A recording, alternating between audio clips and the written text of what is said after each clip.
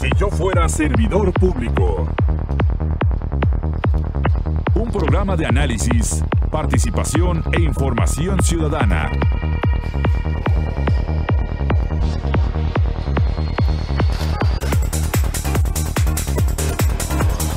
Si yo fuera servidor público.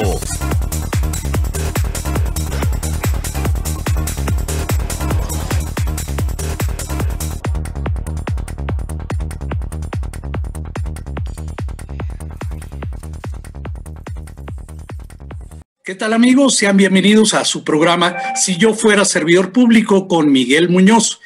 En esta ocasión, su servidor César Ramos, eh, con un tema de mucho interés para todos ustedes y es la credencial de elector. Como ustedes saben, este año tenemos elecciones y ya están muy próximas y el plazo para poder tramitar su credencial de elector es muy breve, ya quedan apenas unos días. Es muy importante de lo que vamos a hablar, si usted perdió su credencial, si usted aún no la tiene, si usted cambió de domicilio, es muy importante poner atención lo que vamos a platicar ahora con la licenciada eh, eh, Olimpia Martínez, Dolores Martínez.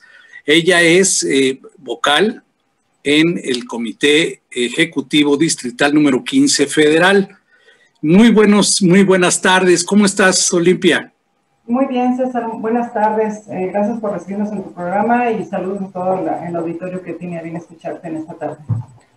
Pues como ya iniciamos platicando, ¿qué es, qué es la, la credencial de lector? ¿Por qué ahorita todo el mundo anda desesperado viendo?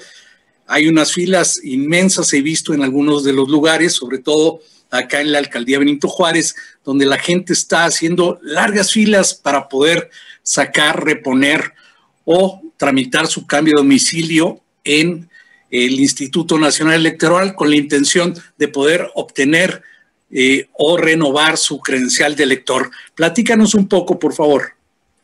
Sí, César. Bueno, en principio, eh, como todos sabemos, la credencial para votar con fotografía a, en las últimas décadas se ha eh, dado, se le ha dado una importancia en especial porque no nada más es una credencial para votar con fotografía, sino que se ha eh, tomado también como una cédula de identidad.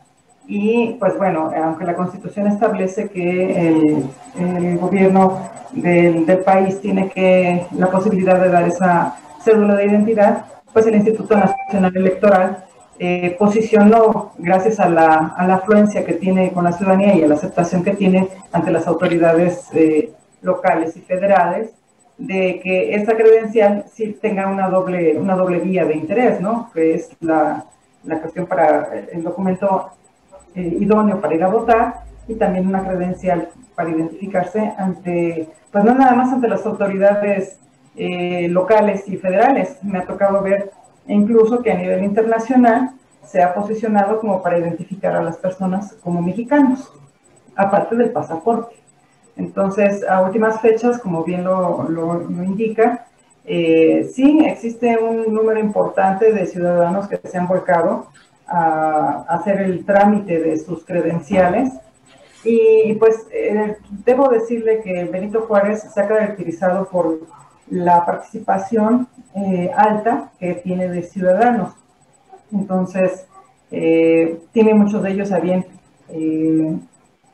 pues decirle a las demás gentes que, que, se les atiende bien, que se les atiende rápido y que en la mayoría de las ocasiones pues dejamos que un buen sabor de boca en toda la ciudadanía. Entonces nos han recomendado con más ciudadanos para que vengan no nada más de la alcaldía de Benito Juárez, sino que también vienen de otras que son cercanas. De hecho, existe módulos de atención ciudadana en toda la Ciudad de México y en cada alcaldía existen hasta, hasta dos o tres eh, módulos de atención ciudadana.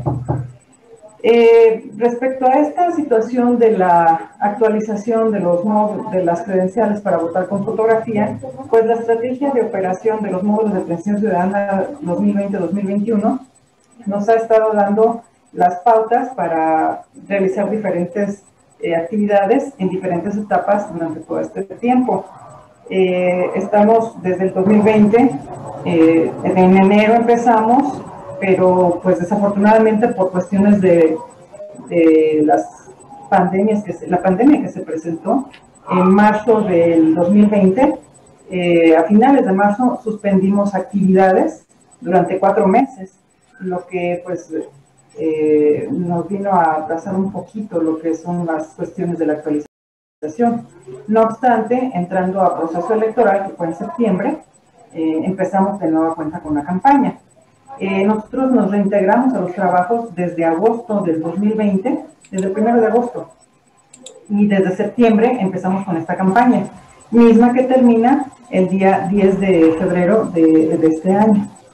Entonces, pues sí, sí, estamos esperando todavía una buena cantidad de ciudadanos y ciudadanas que nos visitarán en los módulos de atención ciudadana.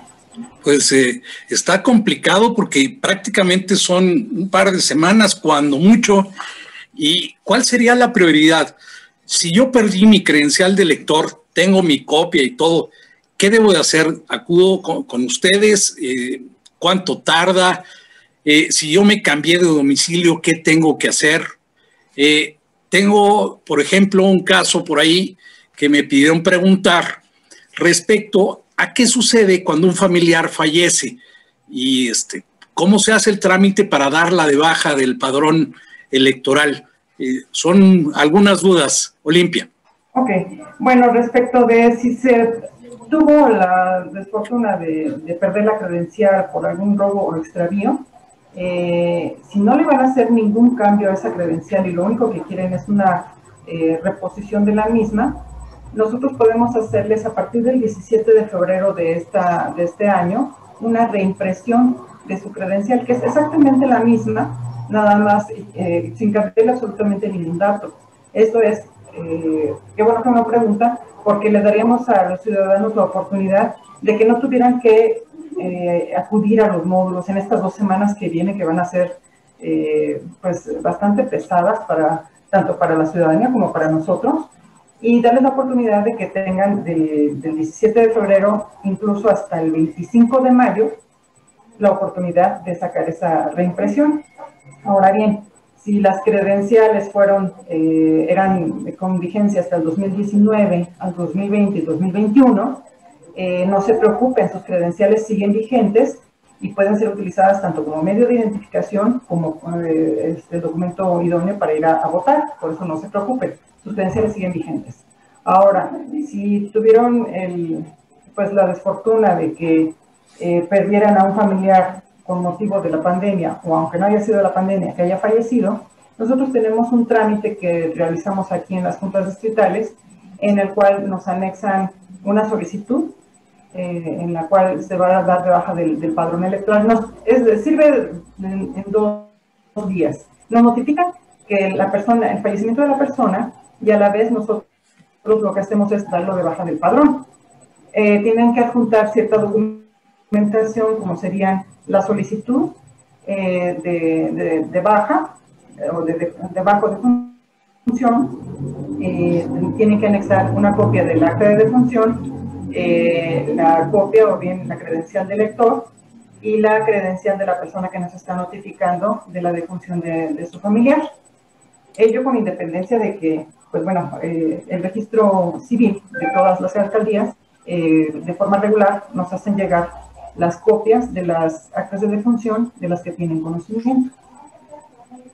Ok, entonces nada más para que quede claro a la ciudadanía, es muy, muy importante acudir a la Junta Distrital a la que pertenece el, fallecido o fallecida y llevar copia de su identificación del INE, del fallecido, y la copia de ustedes como parientes y una copia del acta de función. La copia debe ser certificada o una, una copia fotostática.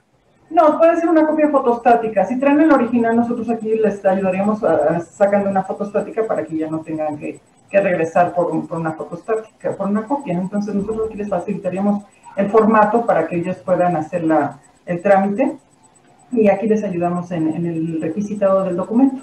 Por eso no se preocupen. Ok, y también aclarándole un poco, amigos, si usted perdió su credencial de lector, pero ni se cambió de domicilio ni nada, tiene o espérese hasta después del 17 de febrero.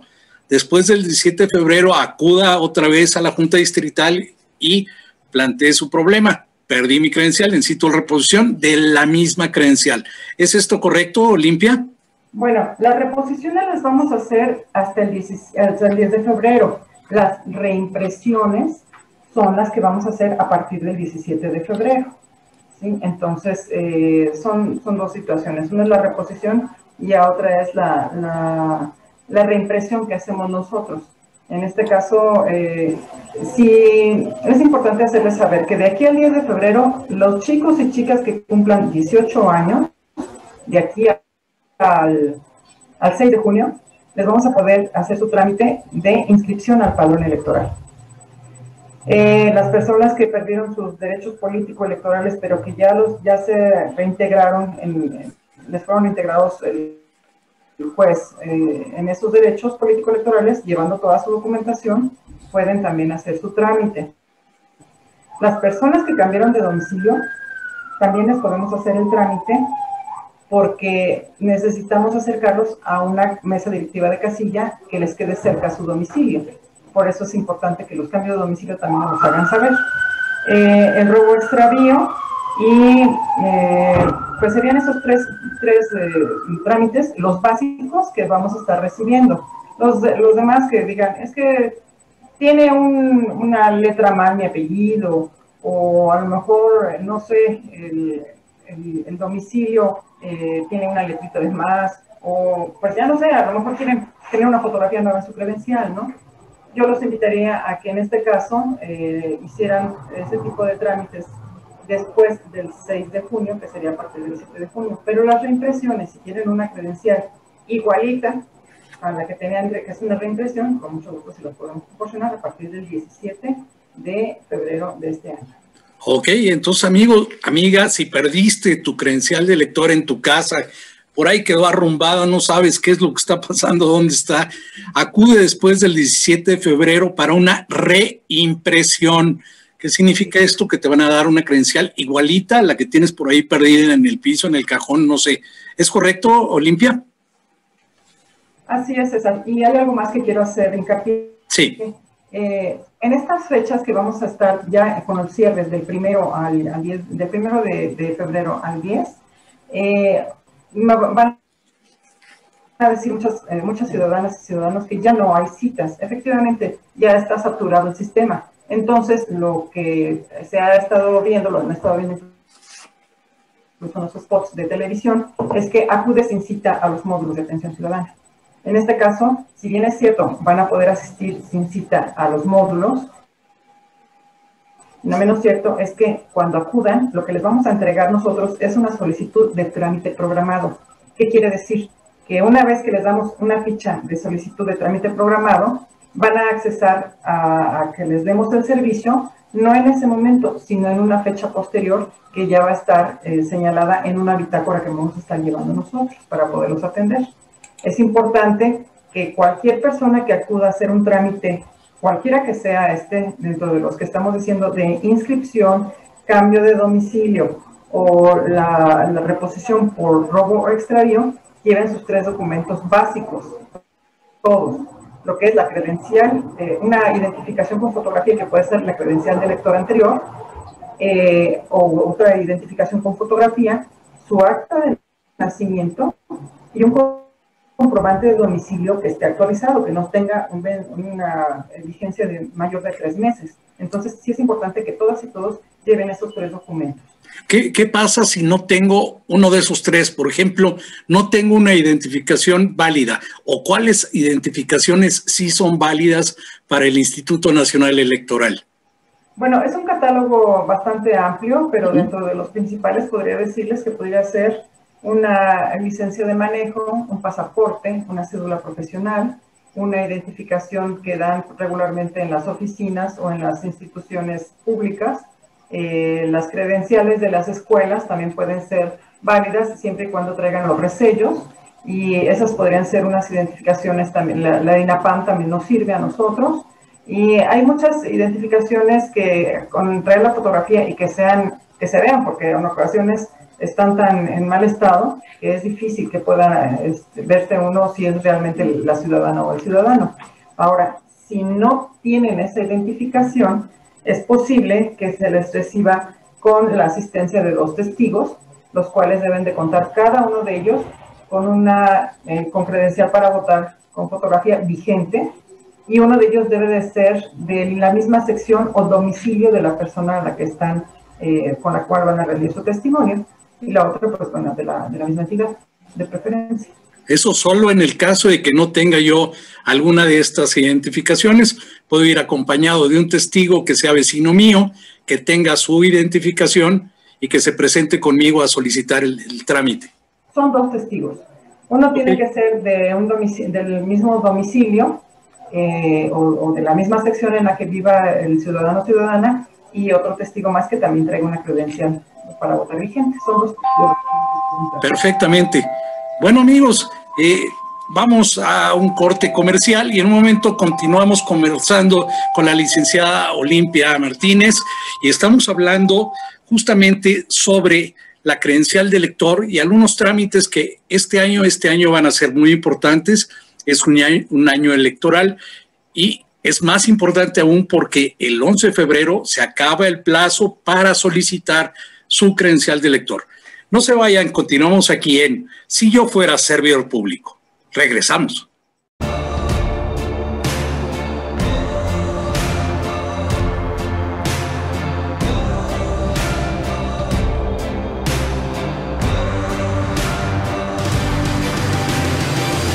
Astele.tv ¿Qué tal amigos? Ya estamos de regreso aquí en su programa Si yo fuera servidor público y estamos hablando con la licenciada Olimpia Martínez. Ella es vocal de la Junta número 15. Ella se encarga de la parte del registro federal de electores y con una precisión. Eh, habíamos cerrado diciendo que hasta el día 11 de febrero, no, es hasta el día 10 de febrero. Adelante, Olimpia. Sí, muchas gracias. Eh, decirle a la ciudadanía que es del primero al, del primero al 10 de febrero eh, cuando vamos a tener ya las dos últimas semanas para efecto de la actualización al padrón electoral para que puedan hacer algún trámite en ese sentido. Entonces, eh, les reitero, me van a decir que ya está saturado el sistema con las citas programadas.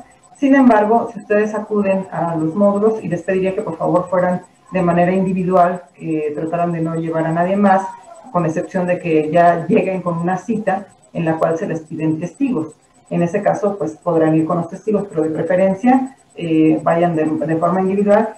Yo sé que somos muy familiares todos y que acostumbramos no ir solos, pero en esta ocasión sí los vamos a pedir por la seguridad tanto de ustedes como de nosotros, porque estamos sujetos a protocolos de, de sanidad que tenemos dentro del Instituto Nacional Electoral y obvio es que también tenemos que atender la situación del semáforo rojo en el que nos encontramos hasta este momento. Eh, con independencia de, del semáforo en el que nos encontremos, tenemos nosotros el deber de tener un máximo del 30% de capacidad en los módulos de atención ciudadana.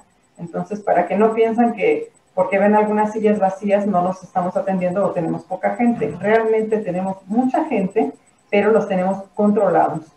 No podemos eh, tener más porque imagínense, si llegara a infectarse alguno de los de, llegar algún ciudadano infectado, que obvio es que lo, vamos a tener que detectar de, cierta forma, pero el, infectar a alguno de los funcionarios que tenemos trabajando sería una cuestión terrible porque me infectaría a todos los funcionarios y tendría, yo me vería en la, la necesidad de, de, suspender las actividades, cosa que no, no queremos hacer porque estamos ahorita justamente con, una, con la maquinaria con, con una eh, parte de del acelerador eh, funcionando de manera este, normal, bien, y queremos que ese, eh, ese acelerón que se le da ahorita al, al, Registro Federal de Electores, que llegue a, a, una, una, velocidad máxima que la cual pueda, podamos nosotros tener la capacidad de atender a un buen número de ciudadanos, como lo venimos haciendo hasta este momento, que aproximadamente tenemos una atención ciudadana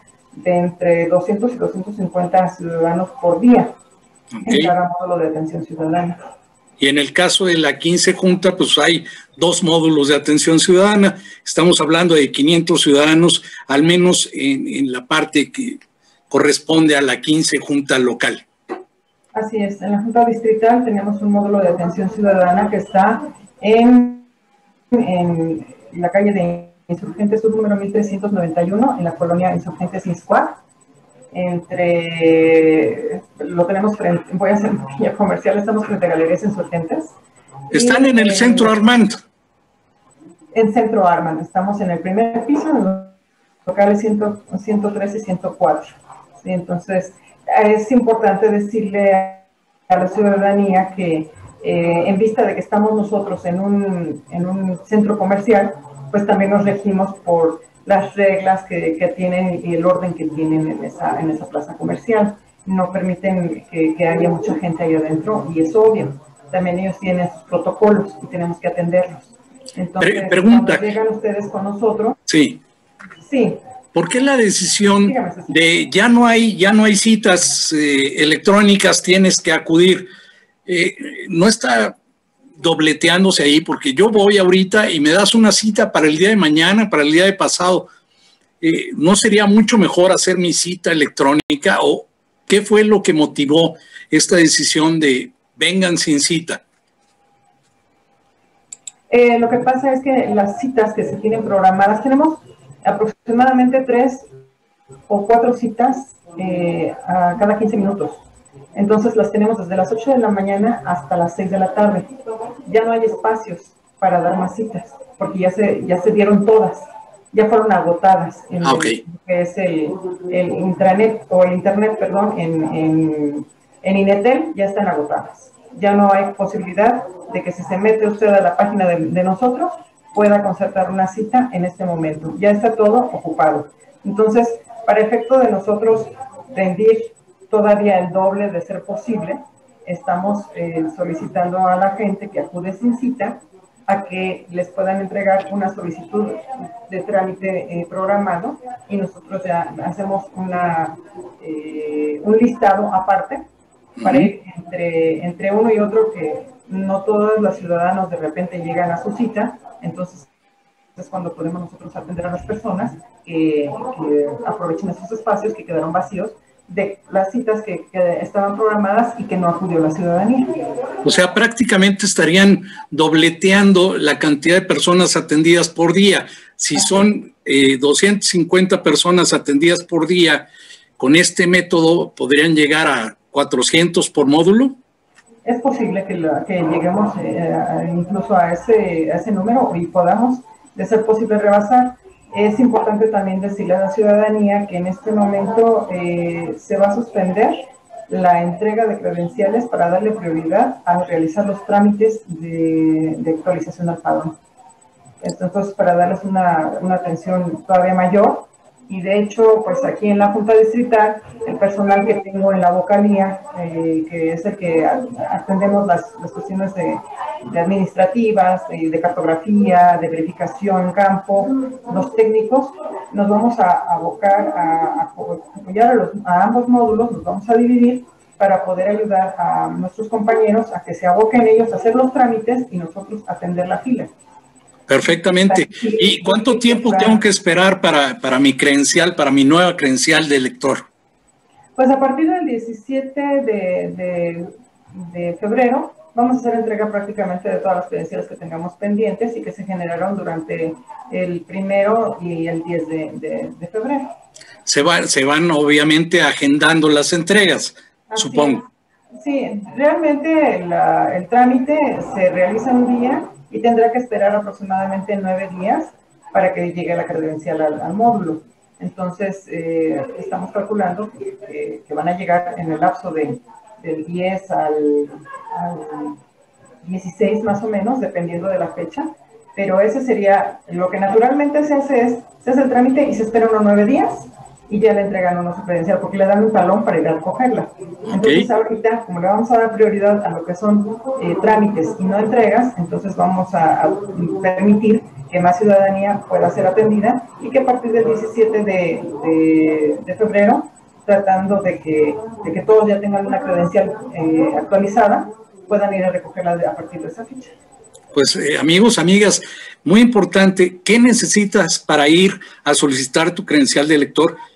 Necesitas tu acta de nacimiento, necesitas una identificación con fotografía y necesitas un comprobante de domicilio no mayor a tres meses del domicilio donde estás solicitando tu credencial de elector. Muy importante, si no tienes la identificación, hay que acudir con testigos y estos testigos deben de tener su identificación que comprueben que viven cerca o son vecinos o, no sé, ahí al ladito de tu casa para poder atestiguar que efectivamente tú eres quien dice ser. ¿Es correcto, Olimpia? Así es. Y si me permite, César, les daría un dato más. Las reimpresiones que vamos a hacer nosotros en los módulos de atención ciudadana después del día 17 de febrero, las vamos a hacer hasta el 25 de mayo. Entonces, para que también la ciudadanía no espere a último momento para solicitar esa reimpresión, entonces los vamos a esperar de todo lo que resta de febrero, marzo, abril, hasta el 25 de mayo los vamos a esperar para que puedan solicitar una reimpresión, porque ya posterior a eso se hace un, resguardo de credenciales, un resguardo de credenciales, este, y pues las credenciales que no fueron recogidas se van a, a, otra área eh, en presencia de los partidos políticos y ya posteriormente hay otra, las reimpresiones las podemos a poner eh, a disposición, incluso, no nada más el 25 de mayo, las reimpresiones, ¿eh? las reimpresiones que se hicieron en ese lapso de, de febrero a mayo, las vamos a tener disponibles incluso eh, dos días antes de la jornada electoral, que es el día 6 de junio. Ah, ok. Entonces, amigos, amigas, es muy importante tomar nota de estas fechas. Si no recogen a tiempo, no van a poder votar porque no se puede llegar a la casilla a votar con una copia. Tienen que llevar su original, su credencial original. Si la extraviaron, está por ahí en un cajón. Después del 17 de febrero, tienen que solicitar la reimpresión de esta credencial y recogerla en la fecha que se les indique para que no se queden sin ir a votar. ¿Correcto? Sí, César, así es, claro. No sé si tengan alguna duda más al respecto, porque, pues bueno, estaremos tratando de, atenderlos a todas y a todos.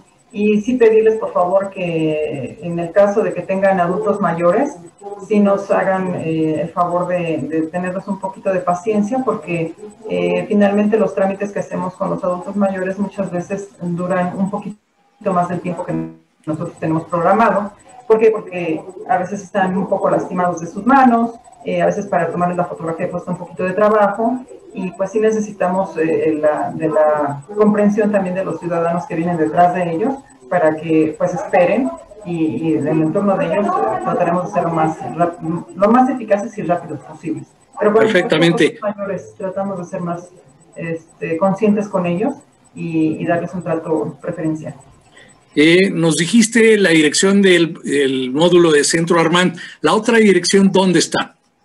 Ah, está en la calzada de Tlalpan, a la altura del, metro Xola, entre Xola precisamente y la calle de Cuenca. Sobre calzada de Tlalpan. Sobre calzada de Tlalpan, en la colonia Álamos, estamos ahí. Y también... Los horarios, ¿cuáles son, Olimpia? Ah, muy importante también. Eh, estamos a partir de las 8 de la mañana hasta las 6 de la tarde, de lunes a viernes. Entonces, eh, obvio es que, bueno, aquí la cuestión de que el, día 10 cerramos no es precisamente un viernes, es un, miércoles, ¿verdad? Si no mal recuerdo. Entonces, eh, de cualquier forma, nosotros ahí vamos a estarlos esperando y a partir del lunes a las 8 de la mañana podemos estar eh, brindando el apoyo con la solicitud de trámite de programado para toda aquella persona que, necesite de, la actualización de su credencial. Vuelvo a insistir, en ese momento no se les va a dar eh, probablemente el servicio, pero sí en días posteriores. Perfecto, entonces pongan mucha atención en las fechas, en los documentos, nada de que, ay, se me olvidó el acta, pues qué pena. Si no llevas el acta, no te podemos hacer el trámite, ¿es cierto? Así es, no, no va a ser posible porque el, el, sistema es el que nos indica cuáles son los documentos que necesitan. ¿Por qué? Porque regularmente tenemos un expediente electrónico de la ciudadanía y si en el, en el trámite anterior no lo presentó, lo va a requerir actualmente en el sistema. Motivo por el cual es que eh, nosotros lo necesitamos porque de, lo contrario, si nosotros no ingresamos ese documento al sistema, simple y sencillamente el sistema se niega a continuar con el trámite y no lo puede, no es puesto de que nosotros no queramos, sino que el sistema nos lo está requiriendo. Así es. Hay, protocolos que todos debemos de seguir, por eso es muy importante y por eso he sido tan repetitivo. Es importante identificación, acta de nacimiento y comprobante de domicilio no mayor a tres meses del lugar de, con la dirección de donde van a solicitar su credencial de elector. Así es. ¿Ok? Y la fecha límite es el día 10 de febrero. Así es. Si yo nada más quiero reimprimir mi, mi, credencial de lector hasta después del día 17 o a partir del día 17, puedo ir a solicitarla y no me la tienen luego, luego, hay que esperar, también me darán una fecha de la cual tengo que estar muy, muy pendiente porque estará muy cerca o próxima a la fecha de la jornada electoral. ¿correcto? Así es. Y César, sería importante que se le hiciera saber a la ciudadanía, nada más que no olviden recoger su credencial, que son los tiempos. Ok, un, vamos un momento a una pausa comercial y regresamos aquí a su programa Si yo fuera servidor público. No se vayan, regresamos.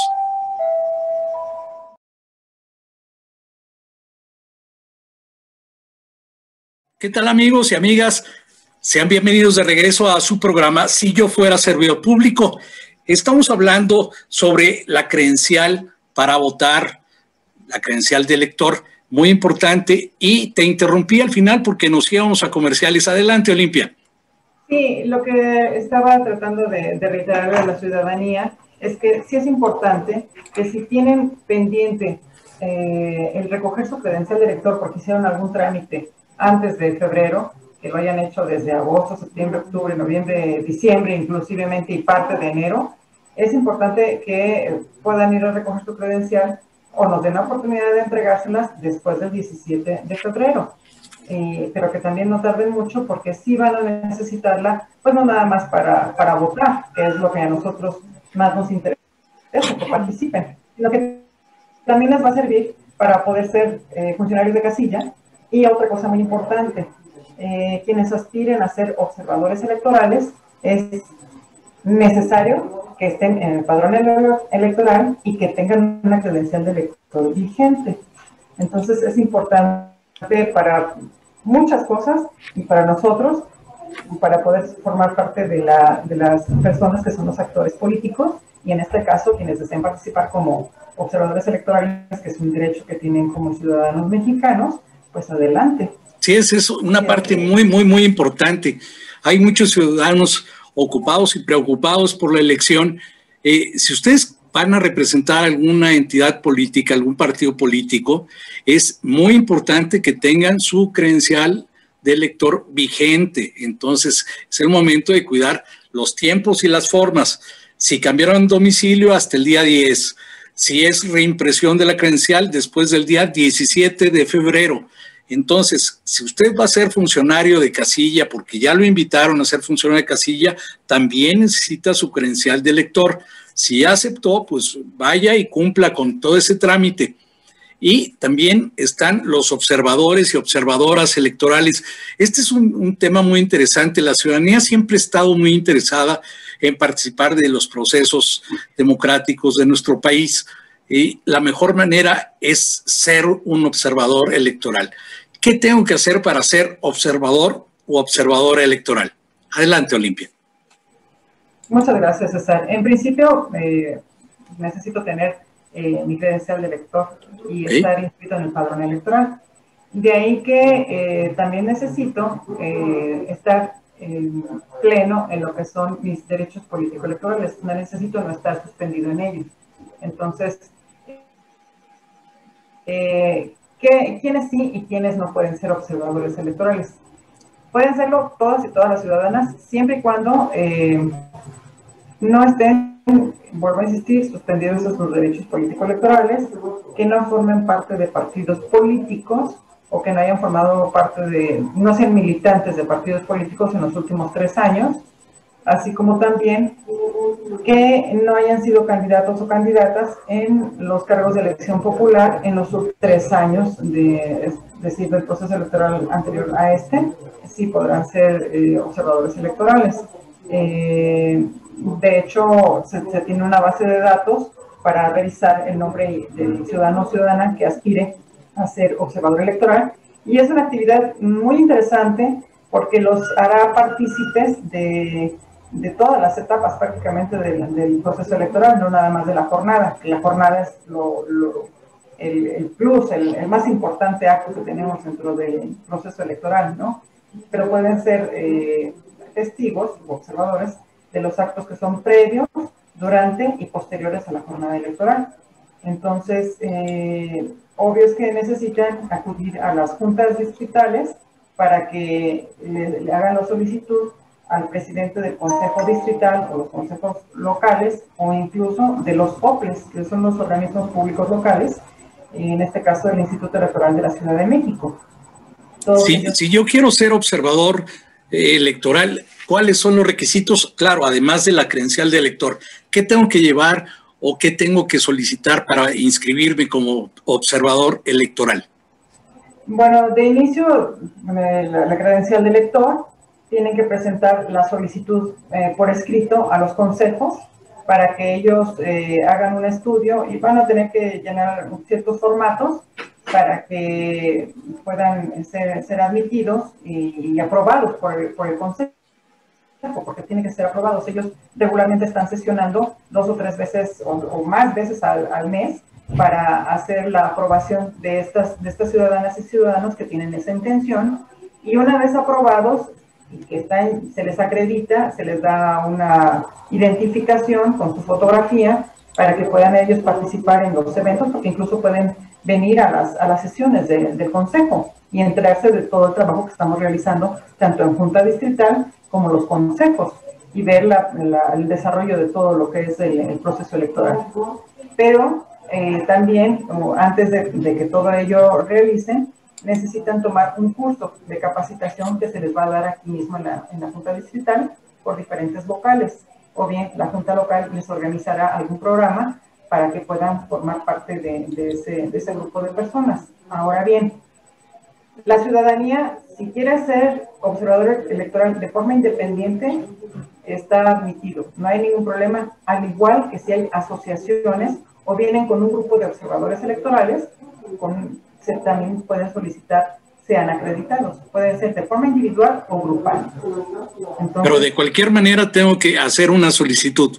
Así es, tiene que ser la solicitud y identificarse. Y obvio es que se va aquí a hacer una, eh, una búsqueda del nombre del, ciudadano que lo solicita para que no esté en ninguno de los supuestos de haber sido eh, eh, parte de, algún partido político o bien haya sido algún candidato a elección popular. ¿Un observador electoral puede estar dentro de una casilla? puede observar, observar lo que viene desarrollándose en el día de la jornada electoral, pero no inmiscuirse en lo que son las actividades de los funcionarios de mesa directiva de casilla. Ellos tienen las atribuciones, los observadores, de estar, como dice el, título, observando desde un lugar prudente todas las actividades que vienen desarrollando desde la instalación de la, de la mesa directiva de casilla, sin intervenir sin emitir ningún eh, juicio de, valor, ni, ni, tampoco están autorizados para emitir algún, algún resultado o, alguna eh, inclinación por algún partido político o alguna crítica, porque finalmente lo que ellos llegaron a opinar no forma parte de lo que es eh, los resultados de una elección. Sí. Y si, por ejemplo, si los grupos de, ciudadanos se organizan para ser eh, observadores electorales, entonces el Consejo General les va a dar eh, pauta a que ellos en un tiempo prudente posterior a la jornada electoral rindan un informe eh, de las actividades que realizaron. Y entonces eh, ahí podrán ellos exponer toda la serie de situaciones que vivieron, que vieron y que para nosotros va a ser importante tener conocimiento qué fue lo que observaron. Ok, pues para que no les digan, no les cuenten amigos, amigas, el observador electoral únicamente es literalmente eso, observa la jornada y no interviene dentro de la casilla.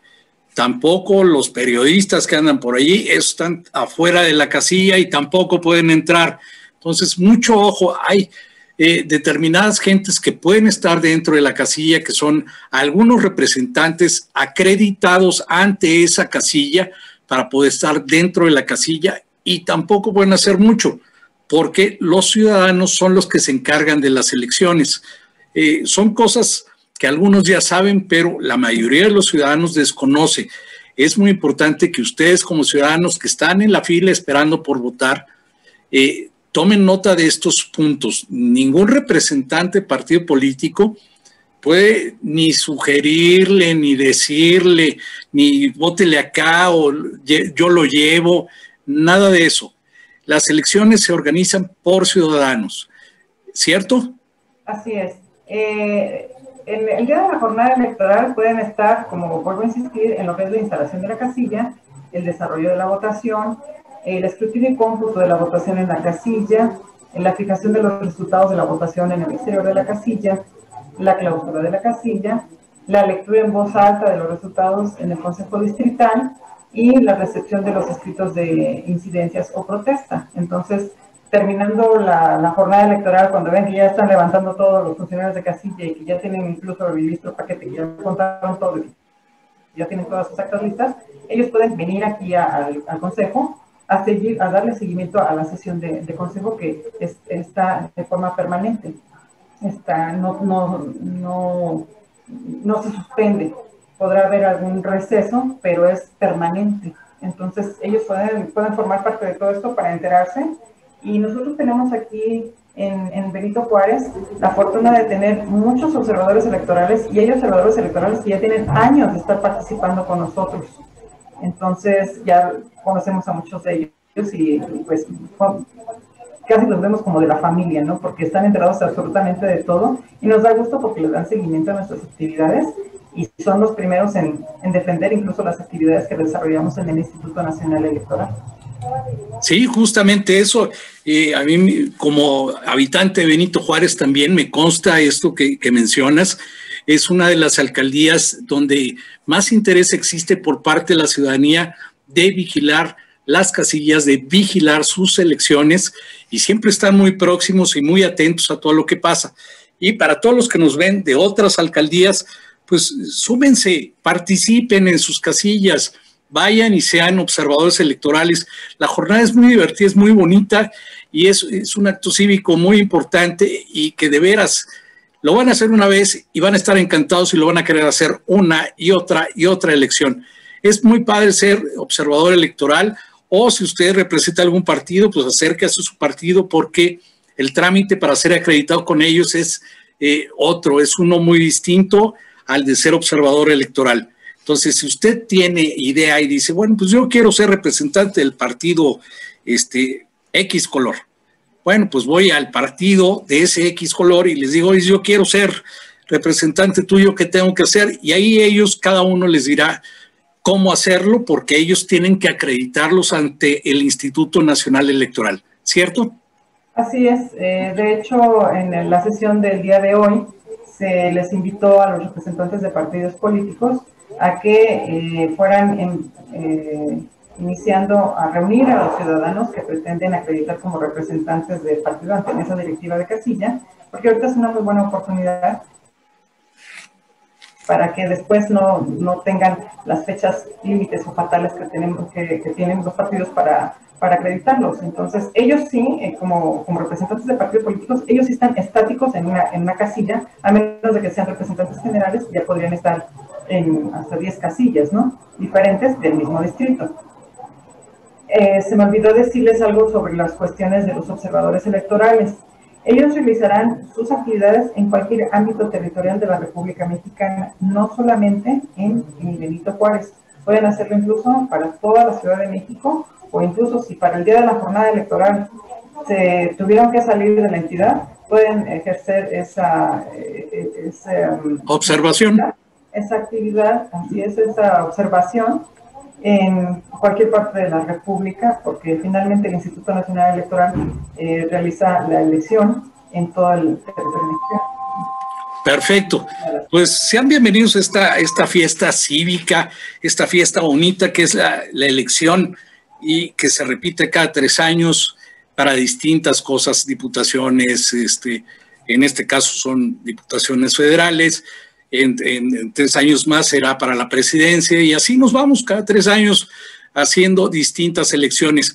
Pues vamos a un corte comercial y regresamos para el último corte donde hablaremos un poquito más del instituto, de los observadores, de la credencial. Ya para resumir, regresamos al último bloque aquí en Si yo fuera servidor público.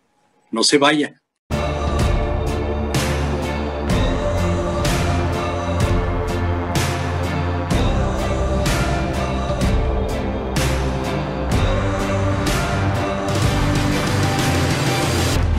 Astele.tv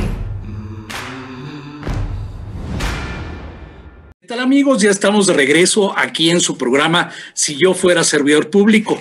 Estamos hablando con la licenciada Olimpia Martínez, ella es vocal en la Junta eh, Distrital número 15 en cabecera Benito Juárez, la alcaldía de Benito Juárez.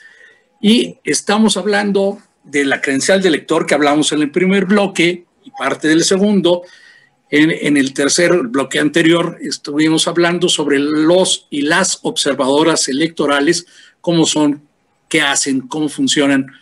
Y en este último bloque a mí me gustaría hablar un poquito más de qué es lo que hace el Instituto Nacional Electoral a lo largo del año, porque ellos no nada más trabajan cada tres años, su trabajo es de todos los días. Eh, eh, en tu caso, Olimpia, tú te encargas del registro federal de electores, pero hay un montón de vocales que hacen distintas cosas. ¿Qué es, ¿Cómo funciona más o menos así, a, grandes rasgos, eh, la Junta Distrital número 15, donde tú estás? Bueno, eh, aquí la Junta Distrital número 15 está conformada por cinco vocales. uno de ellos es el vocal ejecutivo, que es el que nos coordina a todos nosotros, y está el vocal secretario, que es eh, el que se encarga de todas las cuestiones administrativas de la Junta y de las cuestiones jurídicas. De ahí en fuera estamos tres vocales que formamos eh, el mismo rango y el mismo nivel, que somos la vocalía de Registro Federal de Electores, que en su caso la, la tengo yo, la vocalía de Capacitación Electoral y Educación Cívica, y la vocalidad de organización electoral.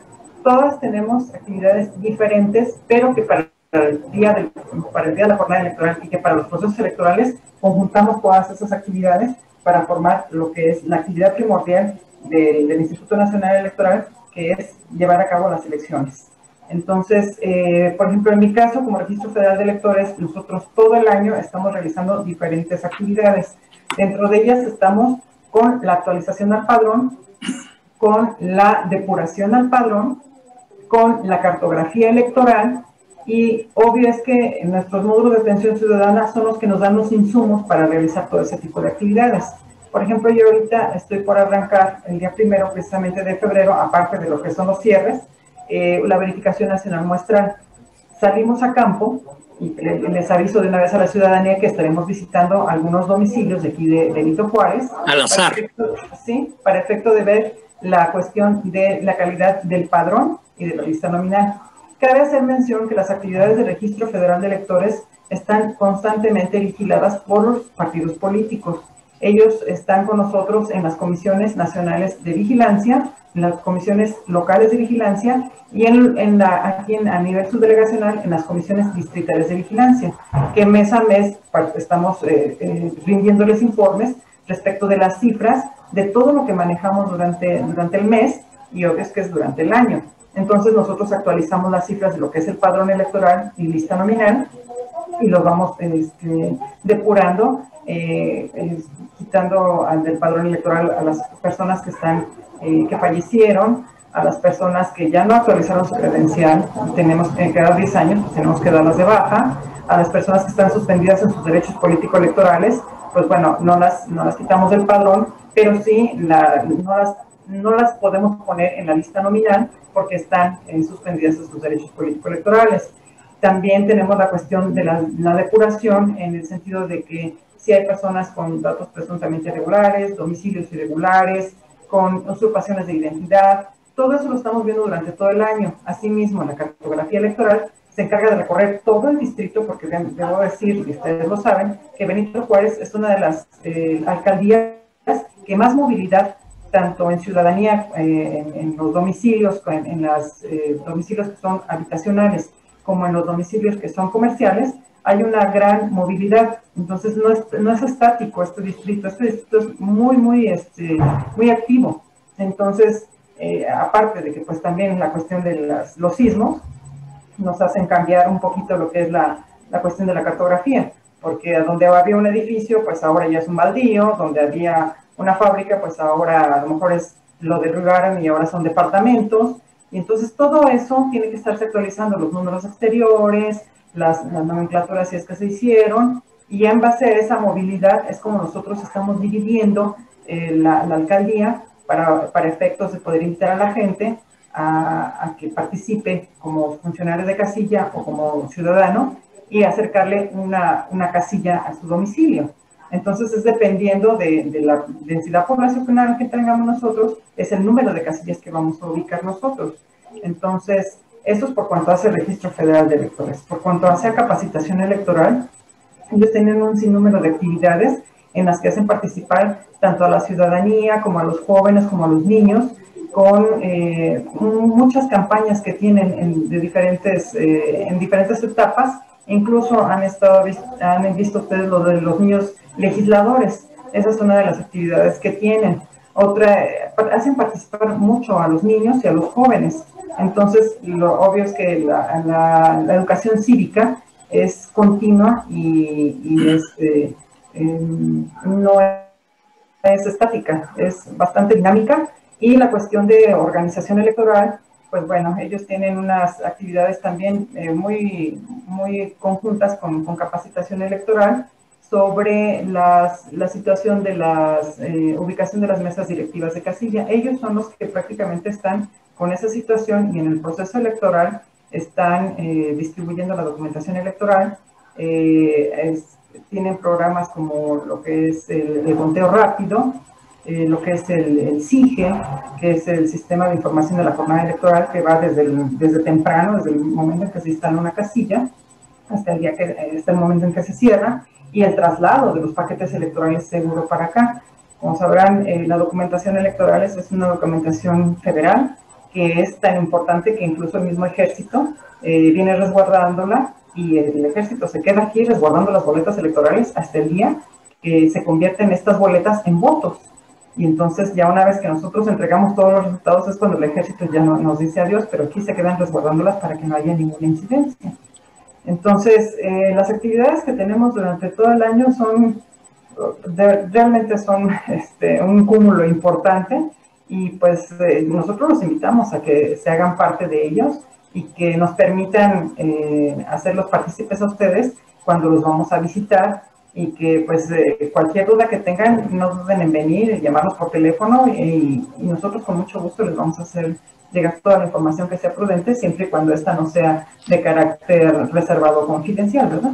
Pues amigos, amigas, es muy importante ver qué es lo que hace el Instituto Nacional Electoral, que además es un órgano que ha sido premiado internacionalmente por su forma de organizar las elecciones, las cuales son transparentes. Hay ciudadanos dentro del Instituto Nacional Electoral no hay miembros de ningún partido, son ciudadanos trabajando para ciudadanos y todo el año tienen un montón de actividades muy importantes para cuidar de nuestra democracia y para preparar esa gran fiesta democrática que es el día de la elección cada tres años. Eh, ¿Algo más que quieras eh, agregar, por favor, Olimpia? Sí, eh, la, situación de que, eh, pues bueno, eh, los, eh, observadores electorales, eh, bueno, la, las, los juicios de opinión o conclusiones que, que pueden vertir de manera individual no pueden surtir efectos jurídicos o sobre el proceso electoral y sus resultados. Entonces, ellos forman parte, pues, si no de la familia INE, sí de la, de la eh, facilidad que se les da para que sean testigos de todas las actividades que nosotros realizamos.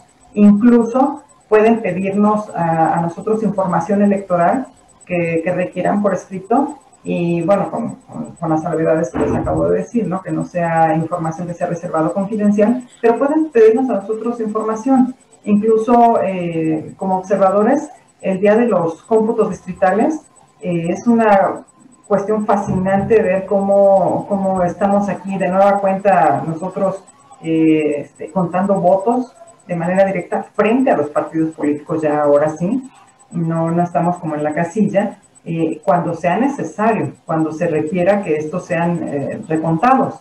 Entonces es una actividad que nosotros hacemos sin parar desde que empezamos, podemos empezar, no sé, a las 10 de la mañana y podemos terminar incluso al día siguiente, pero no paramos, es en forma continua, continua, continua, continua, y, es eh, muy interesante ver cómo es que integramos nosotros los resultados finales y cómo es que se hacen las declaratorias, porque finalmente eh, la conexión que tenemos con el Consejo General y con la Junta Local es muy importante y ese día, pues bueno, sí, nada más con con nuestras reservas de, la sana distancia y nos estaremos organizando para hacer unos cómputos distritales y unos cierres eh, con los protocolos debidos que ya los tenemos para invitarlos también para que los conozcan y vean cómo pueden desarrollar sus actividades sin mayor riesgo.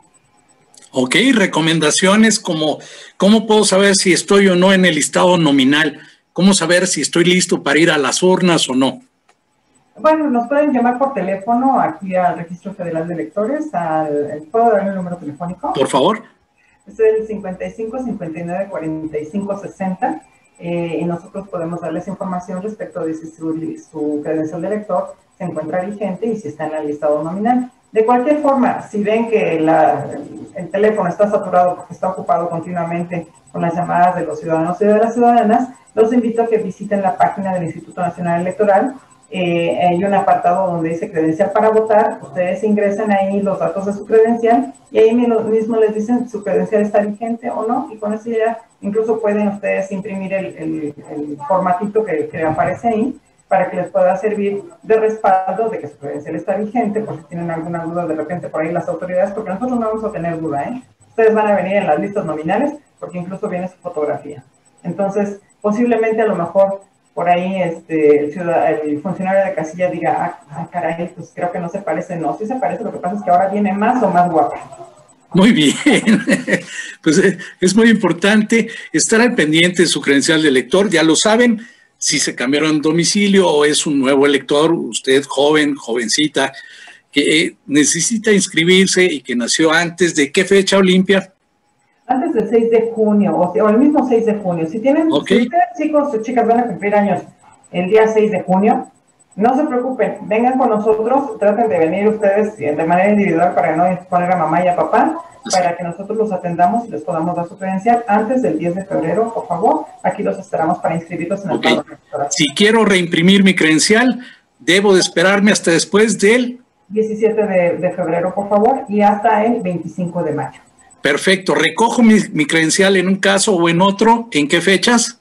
A partir del 17 de febrero y hasta el 25 de mayo. Y si hicieron su trámite eh, dentro de esa fecha, desde el 25, antes de 25, o en mayo, en, abril o mayo, y todavía no la recojo, les podemos dar la oportunidad de que la recojan incluso el día, hasta el día 4 de junio, que son dos días antes de la jornada electoral. Pues ahí está toda la información, amigos, amigas, para unirse a esta gran fiesta que es el día de la votación este año. Entonces, ya tomaron nota. Si no han tomado nota, visiten la página del Instituto Nacional Electoral, que es ine.mx. Ahí van a encontrar un montón de información, hay estadísticas, muchas de las actividades de las cuales platicamos a penitas con Olimpia pero el Instituto Nacional Electoral, este instituto formado por ciudadanos, tiene un montón de actividades todos los días del año. cualquier día del año, aunque no sea un año electoral. Olimpia, ¿algo más que quieras agregar? Bueno, pues invitarlos a que si eh, reciben por ahí la visita de nuestros funcionarios, eh, en este caso de los capacitadores y supervisores, los atiendan, por favor. Pues agradecerte mucho eh, el favor de que nos hayas acompañado aquí en Si yo fuera servidor público. Olimpia Martínez, ella es vocal en la 15 Junta Distrital en, con cabecera en la alcaldía de Benito Juárez. Muchas gracias. Olimpia. Gracias a, gracias a todas y todos. Y, César en particular, muchísimas gracias por la oportunidad. Estamos a la orden. Amigos y amigas, nos vemos en el próximo programa de Si yo fuera servidor público con Miguel Muñoz. Su servidor, César Ramos, se despide de ustedes. Hasta la próxima. Muchas gracias.